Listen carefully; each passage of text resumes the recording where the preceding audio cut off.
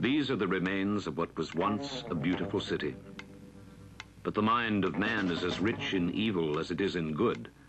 And the same inventiveness which blessed us with insulin, electricity, the arts and engineering miracles of all sorts, has also cursed us with the sword, the gun, the bomb, and...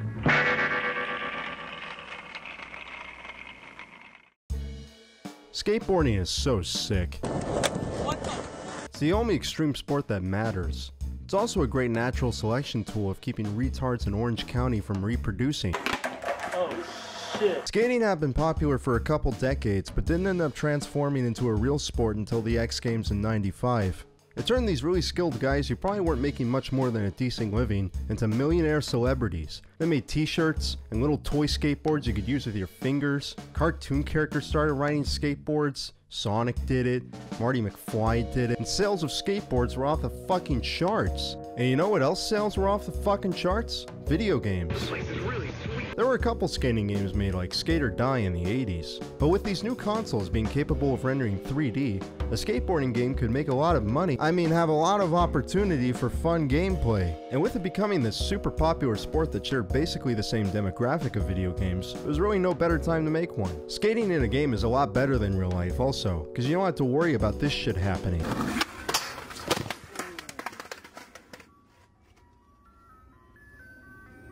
Activision picked up the idea of a 3D skateboarding game and made Neversoft develop it. Well, that seems like it's going to be cool, but no. You see, this is going to be a sports game, and to make a good sports game, you need the name of a celebrity on it. Somebody you can really trust. Here's some examples. The problem is that skateboarding doesn't have a huge league associated with it either, like FIFA, or the NHL, or the NBA, or the NRA. So the name was probably going to be something stupid, like Street Skater 2.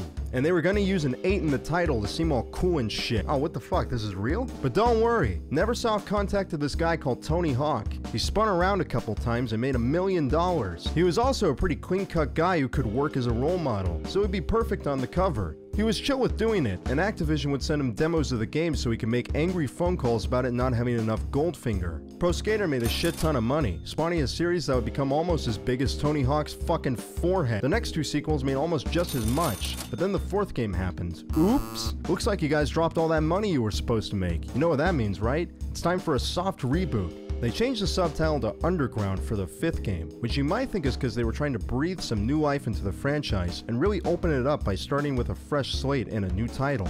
But you see, that's completely wrong. The real reason is that 5 is the cutoff point in sequels where no one takes you seriously anymore. Like Rocky 5 is just a funny title to me, how did these geniuses manage to make five movies about a dumb guy who punches people? Check it, man. Muska is actually coming to this dump for a skate demo. Get dressed, let's go. Hey, wait, I get to create my character? I've never gotten to do this before in the games I've reviewed. I'll just make him look like me. Well, I just got my ride all set up. Every Tony Hawk game always introduces a new move or two to follow up on combos easier. Pro Skater 2 started it with adding the manual, which would let you continue any move that wasn't done on a vert. Then in 3, they realized not being able to continue off a vert trick was stupid, because it just discouraged you from wanting to go in a half pipe, which is kind of retarded in a skateboarding game so they added the revert. These two moves pretty much opened up opportunity for fucking insane combos that could go on theoretically forever. So with Underground, they decided that the only innovation needed to the series was not being on your board at all. Holy shit! The game introduces this to you right away, and I think it's great. It doesn't disrespect the fans of the series by teaching you how to fucking ollie or whatever. It quickly shows the new shit they added, and they managed to teach it to you in under two minutes. While I do like being able to get off my board, and I do appreciate the wiggle room it gives me, it's kind of like a get out of jail get out of federal prison after selling some narcotics card. Whenever I'm in a situation like this where I should break a couple bones, or like my fucking teeth, I can just get off my board and go, Nah, I can't do it. You do get a limited amount of time that you can do it in a combo, but it still heavily inflates the amount of points you can get. The character control's kinda awkward off his board also. For some reason, my guy fucking bolts in whatever direction you put him in when walking. Momentum just doesn't exist. He's either standing in place or sprinting. Also, I can double jump, like fucking Super Mario. Hey, by the way, this game actually has a story that's worth talking about. We're a young amateur skater trying to make a name in a ghetto town in New Jersey. We mainly just like to skate for fun with our friend Eric. Let's go skate. But there's this guy coming called Chad Muska, who desperately wants more friends of the urban variety. Check this out.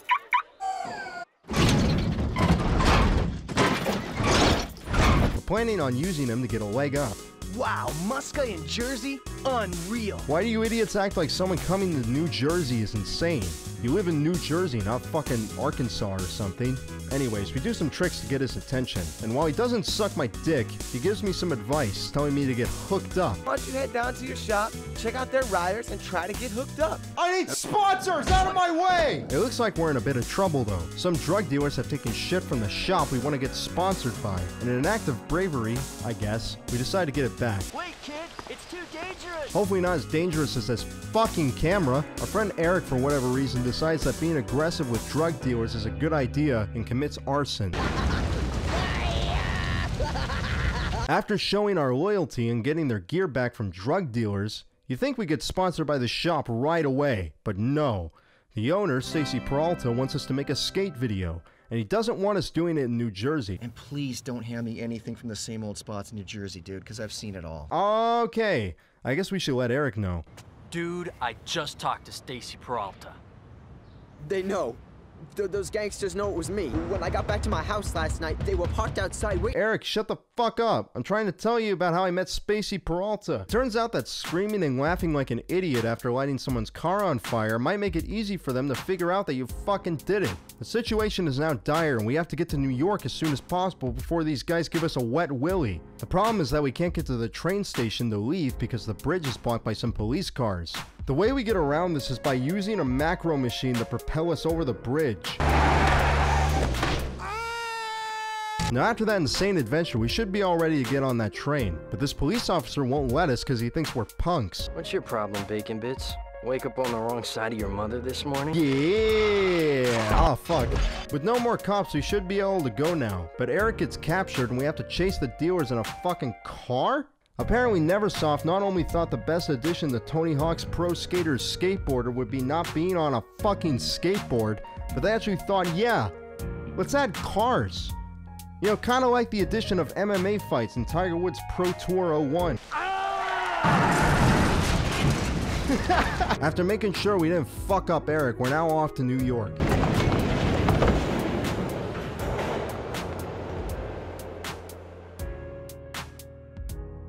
Thug transitions into different environments very naturally through the storyline. It's a nice update to the basic way Pro Skater did level transitions, where you chose the next level after doing some objectives. There's nothing wrong with that style, and in some contexts I actually think it works better. But this is where having a story in a game can actually be beneficial. It helps immerse you into the world a bit better, even if it's really stupid. Get special on this QP and do a QP moonwalk special 5 -0. I think games run into a problem where they try having these huge, self indulgent storylines that instead of enhancing the experience, just get in the way of it.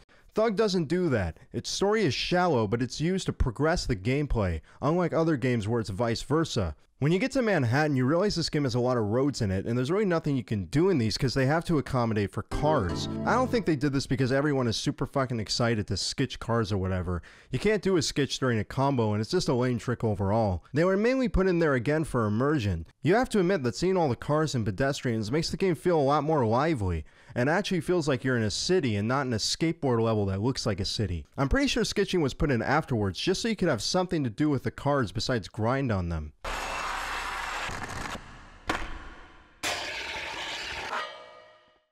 This fucking game's awesome. Hey, remember how Peralta wanted us to make a video that didn't have any New Jersey? And please don't hand me anything from the same old spots in New Jersey, dude. Well, now we can do that, but we need someone else to record it since we don't have a video camera. We find some, but they're a little hostile at first. That's fine though. In this game, all you have to do to get people to like you is do an ollie.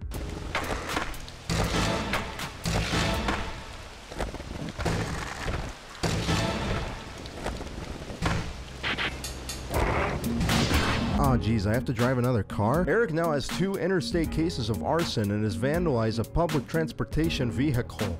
But at least we get a cool skate video out of it. It was so good it even got us sponsored. Wow, you got style. You are on the team, dude. You're definitely on the team. Fuck yeah, dude, let's go to the DQ! Oh, fuck! Now we get to go to all kinds of contests and make money. But first we have to do some favors so we can get a ride to Florida. Man, damn kids. I was supposed to have some new decks delivered to the sponsors by the start of the show, but some punk stole them. You can get them back in time. It'd really save our ass. Anything for you, Bill Burr. Anyways, now we're in Florida, getting beat up by a police officer for having a McCarthy bumper sticker. Eric, of course, wants revenge like he always does, but instead of setting Disney World on fire, he convinces us to fuck up Jeb Bush's campaign signs. Let's make sure he doesn't win. Grind down the Jeb signs. Why would I want to do that? Let Jeb have his signs, Eric.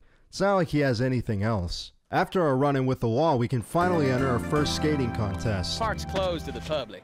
Oh, now check the list. Eric Sparrow, aka the guy who's gonna win Best Trick tomorrow. AKA Cocky Knucklehead. Okay, you're in. Whoa, easy there, Chief. The list's all checked off. What? You signed us both up, right? Whoa. Uh, look, uh, yeah, I'm sorry about this. Uh, but anyway, I, I, I gotta go skate. I mean, this could be my big break. And who knows, maybe you could uh, impress a pro or something and get in too. Maybe I could fuck your shit up. Well, time to suck up to some pro skaters so we can get into the contest, which is surprisingly easy to do considering how dumb some of these guys are. Alright, let's go skate some spots around Tampa.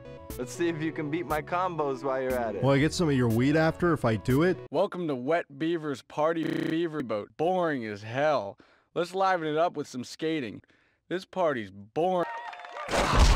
Wow, we're really crashing this party. hey, that's Tony Hawk over there. no, it can't be. Hey, you skate pretty well. Let's see if you can hang with me. Holy shit. It's Tony Hawk. Guys. We beat the game! Not really though, because we still have to fuck Eric in the mouth, which Tony Hawk helps us to do by getting us into the contest. Can't make any guarantees, but I'll talk to the guys at the contest. The contests are back in this game from Pro Skater, but I'm not as much of a fan. In the originals, you had a lot of room for freedom and creativity with how you could rack up a huge score. But here, if you leave the 20 square foot area you're allowed to compete in, you lose all your points. Like, look at this.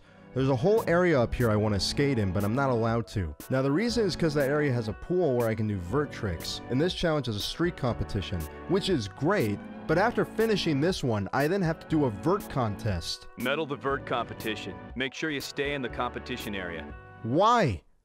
Hey guys, how about you just take these two areas and these two challenges and fucking put them together and let me do all the cool shit I want to do. The problem with splitting these two up is that during the street sections, all I'm doing is pacing from one side of the room to the other, and with the vert challenges, I'm stuck skating in one quarter pipe doing the same couple moves. It's boring and restrictive. They only last around a minute, but they end up feeling like five. Now I know I can do lip tricks here too, but they're fucking dumb. There's even an area later at this huge stadium, and it's super fun to skate around in. But guess what I have to do in it? Be an asshole in a quarter pipe for two minutes. Why do it like this? Just copy what you did in Pro Skater. There's literally no reason you couldn't have done it like that. After a performance, we get to choose a company to show for, so let's take a look.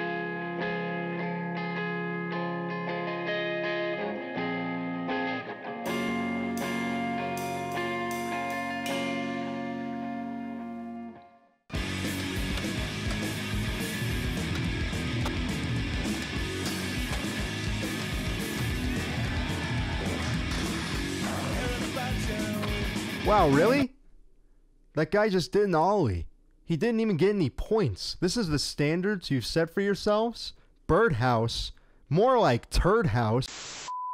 Skating in Philly is so much better than skating anywhere else. Um, people always ask me like,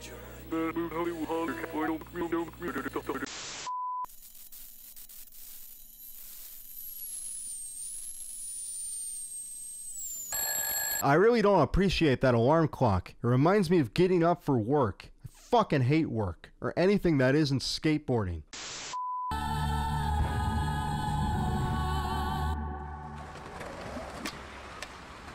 Holy shit, will signing up for you make me ollie that far? Well, it didn't affect my jumping height, but it did make me all ready for St. Patty's Day, so I'll take it. It would have been very easy to just implement status conditions on the menu like sponsored or pro and have been done with it. But they actually put the effort into making it sponsored actually seem cool. You get exclusive boards and shirts, and when you become pro later in the game, you even get to make your own skateboard design, which actually has a pretty decent variety of options. At this point in the game, skating around becomes a whole lot more fun too, thanks to having more special tricks and stat upgrades which let you jump higher, manual longer, and knock down pedestrians easier. The way you get stat points in this game is amazing. You get better when you do things like manual for a certain amount of seconds or getting a huge combo. It adds to the progression of the game. When you finally become a pro, your character is capable of a lot more than when you first started off in New Jersey. It works so much better than the pro skater games where stat upgrades come from collecting these dumb coins throughout the stage. Here it doesn't get in the way of anything. It actually makes sense in a real life context also, which is crazy in a game where you can do this. Fuck, my feet hurt! Hey, it turns out that when you skate around a lot and you practice stuff, you get better at it. The team demo! Come on, I want you to get the new guy hooked up. Sup, fool? Oh, what the fuck are you still doing here? Now, after that stunt Eric pulled in Florida, you think our guy here would feed him to a crocodile and maybe film it for his next skate video, but instead he just looks at him funny. Fucking smash his head on that fountain. Make him really fucking feel it, too. I hate these missions where I have to skate around looking for bullshit. It just doesn't work well in this game's context. The reason it's alright in Pro Skater is because they serve a purpose of getting you to explore the whole map. So you don't just find one little area, get your points, and then jerk off to the next level. It's the reason everyone knows these stages by heart, and it also creates a great system of multitasking. But here it's very sterile. I just ride around playing hide and seek because some rad guy told me to. Whoa, what a party, huh? I'm having to explore the level anyways to find missions to do, so these just serve no purpose. They're just in here because they were in the other games. Man, those sketches are awesome. Did you draw them? Nah, some artist did. They're the graphics for my new pro model. Hawaii is probably my favorite map in the game, mainly because it has palm trees and a beach. It also just has a lot of variety in its scenery. I enjoy a lot of the missions here too. Well, except this one where I have to drive again. I'm getting sick of these. Let's see you smash five pineapples. Smash 5? God, that's gonna be horrible. The rule set's gonna be one stock and everyone's gonna be playing as like Kirby's nephew or something. I feel the need to talk about the soundtrack also as it's a pretty big deal in the Tony Hawk series. It seems like at this point ska is completely off the playlist and that kind of upsets me. Now I know this is probably like the only time anyone's ever felt emotions about ska music, but it does fit really well with skateboarding. Sublime is kind of all you have on the soundtrack that comes close. There's some good artists on here though, like EJ Kubert, Nas, Bad Religion, even NoFX is in this.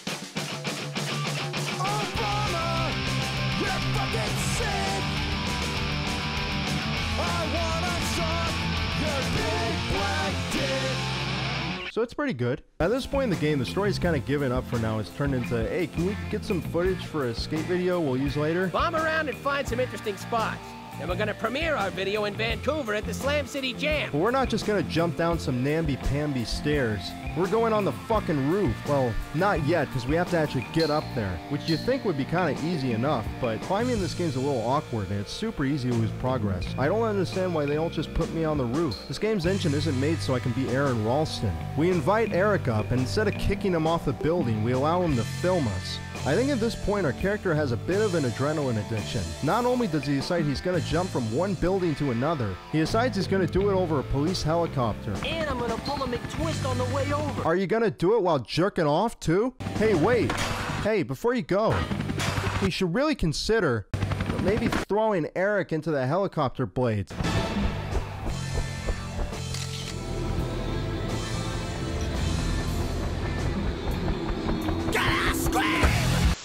You know one thing that's amazing about this game? How easy it is to restart a mission when you fuck up. Watch this shit.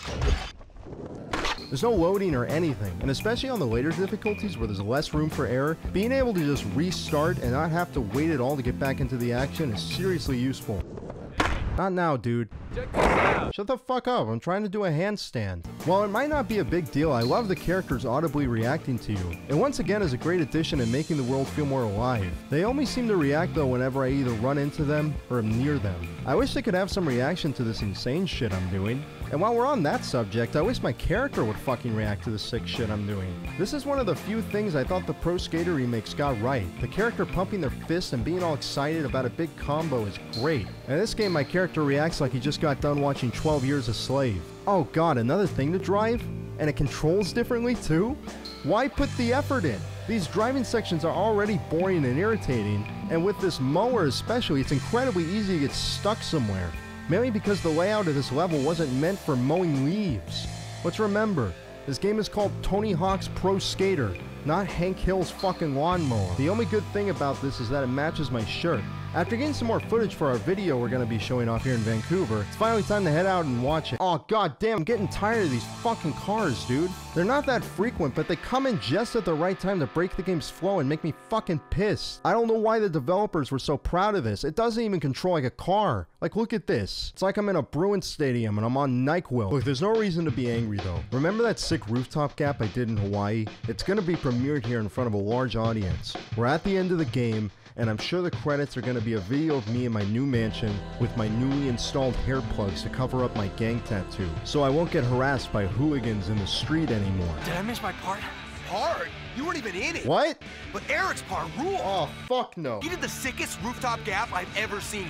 Roof to roof in Hawaii. 40 stories up. Oh, you Weasley bitch. What the fuck, Eric? How the fuck did you even manage to accomplish this, Eric? This is you, and this is me. I don't have any of your features, Eric. I understand this is Vancouver, so no one can see that well, but no one's that retarded, Eric.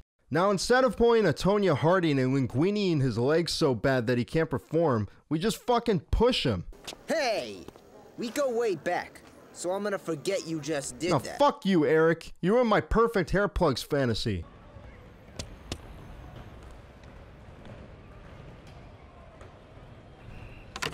Hmm, you're a pro? They entered you as an amateur. Someone made a mistake. This area has the same problems that the other competitions have, where the area is incredibly limited in the tricks I can pull off. It kind of feels like a waste because, as I said earlier, this stage is actually really fun to skate in when there's no restrictions. The audience here is also great, they freak out over like the smallest things.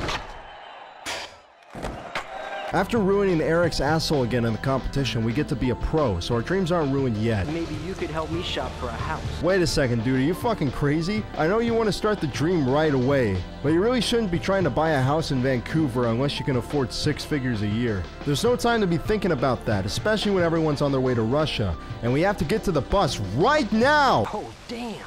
My shoes. I need my trophy. Good thing we have our jacket. I mean, we won't want to get cold. Russia is fucking irritating. It's way too big for its own good, and if you don't execute stuff just right during the missions here, you lose all your progress. It seriously fucks up my momentum. Rodney Mullen, why are you hanging out here freezing your ass off? Nah, it doesn't get to me. Do what I do. Hop around to get warm. I feel like Rodney Mullen always gets the shaft in these games. You only get to interact with him like twice, and it makes him seem like he's not that important. This dude invented the impossible, and the fucking kickflip. How many people do you know that can do a kickflip? Fucking everyone. It's like the most iconic trick of all time. But instead, the series name goes to the guy who made the eggplant to fakie, and the backside rewind grind and the very okay twist. Look, I'm not saying that Tony Hawk isn't a talented guy or impressive or anything like that. When you're first starting out, even putting both your feet on the skateboard is hard and stressful. So anyone that can do stuff like this is really fucking cool. I'm just saying that you have to admit, his name is like 58% of the reason he's famous. Tony Hawk is probably the most recognizable, brandable fucking name in the universe. There's people who literally know nothing about skateboarding but know who Tony Hawk is. Do you think he would have become this giant celebrity if his name was like Joe Scott? Or like Samuel Reed. After pulling some pranks on these guards, we ring a bell causing some gates to open up a bit more of the level. Bam gets so excited from this that he does his classic Bill Clinton impression. Those suckers open the gates. I love it when a plan comes together. Having the second half of the stage open up after doing a good amount of missions is actually great on these really big stages like New Jersey and Moscow. These stages would be really intimidating at first glance due to their size, so spreading them out makes them a bit more digestible. But even with the areas being divided up at first, Moscow still made me feel lost as fuck as a kid. I can't even imagine how dumb it would have been if the whole stage was opened up from the start. I might have died. Sup, guys? Listen, I've been thinking, we can't keep this up. Remember how I used to torch action figures with you? I, I acted like a dork. I'm sorry. I got carried away.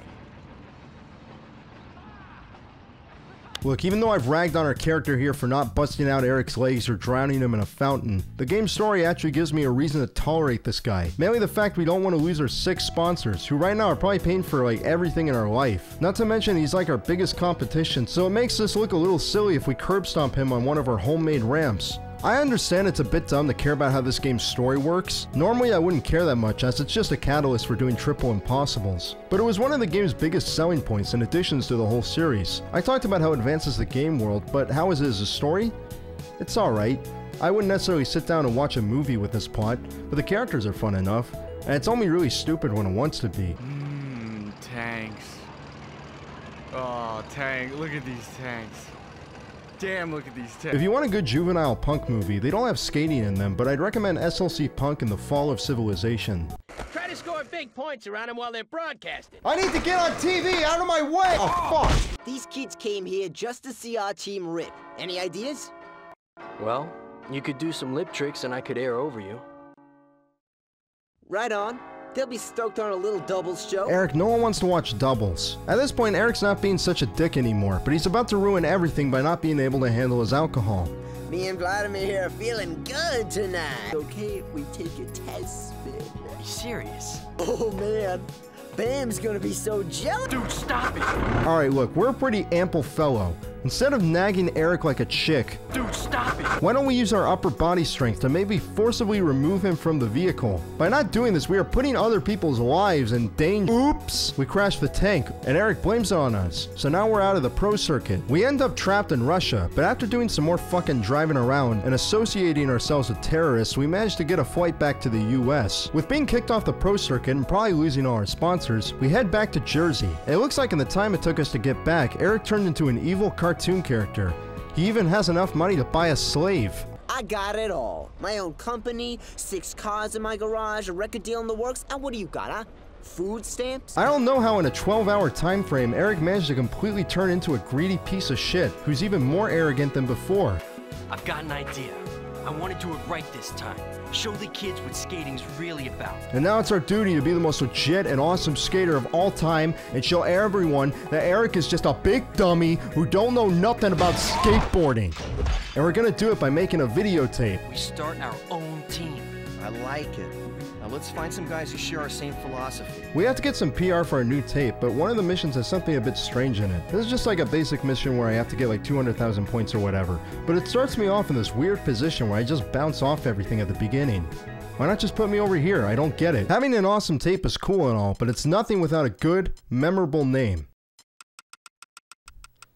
Alright, done. Peralta also makes sure our tape won't be garbage by giving us some secret spots to skate. This is a great way to end the game. The challenges are actually challenging for once, and it's super cool to play as some pro skaters. You even get to select the areas they get heavily injured in. After finishing the video, you get to see a well-edited montage of all the pros you chose. Jeez, man. I think we broke the pinata with that video.